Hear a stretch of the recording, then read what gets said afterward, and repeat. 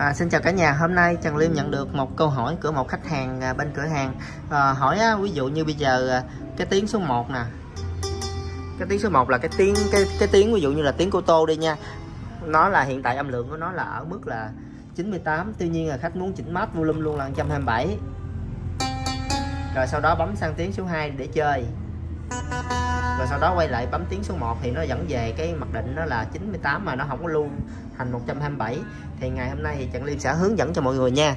Thì đầu tiên, ở tiếng số 1 98 mình xây bánh xe hết cỡ 127 rồi, thì máy nó chỉ hiểu là ở đây là cái thao tác tạm thời thôi.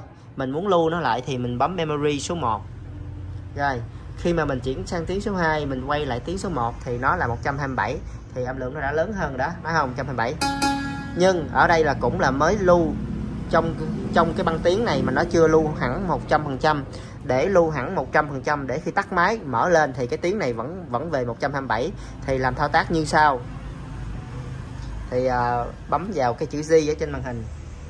À, bấm vào chữ G rồi bấm vào chữ G thì mình đang chỉnh ở ở trên cái băng tiếng dân ca.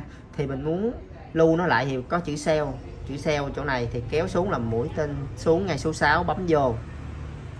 Bấm vô rồi bấm chữ ok ngay chỗ này. Chỗ này có ok trên thì nó tương, tương ứng là số 8 mũi tên lên. Rồi bấm chữ Z kéo qua là ngay chữ F. Rồi mọi người chờ một chút xíu thì cái máy nó sẽ lưu được. Rồi bây giờ chúng ta đổi sang băng tiếng là dân ca 2 đi ha. Đó là tiếng tranh nè, bây giờ chúng chúng ta quay lại băng tiếng hồi nãy chúng ta chỉnh đó. Thì tiếng số 1 là tiếng cô tô, nó vẫn giữ nguyên nè. 127 rồi mọi người sẽ áp dụng làm lần lượt những cái tiếng khác. Thì bấm ví dụ tiếng số 2 nó đâm 57 muốn lên 127 thì memory số 2 xong rồi đó, và bấm chữ G vô là sell băng tiếng lại là xong ha. Chúc mọi người thực hiện thành công. Xin chào và hẹn gặp lại.